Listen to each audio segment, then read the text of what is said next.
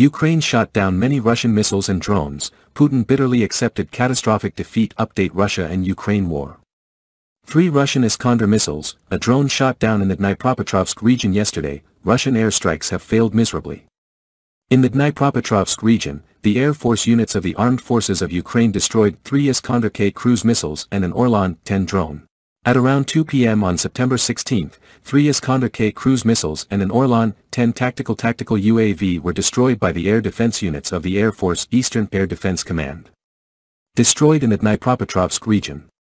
Service of the Command of the Armed Forces of Ukraine posted on Facebook.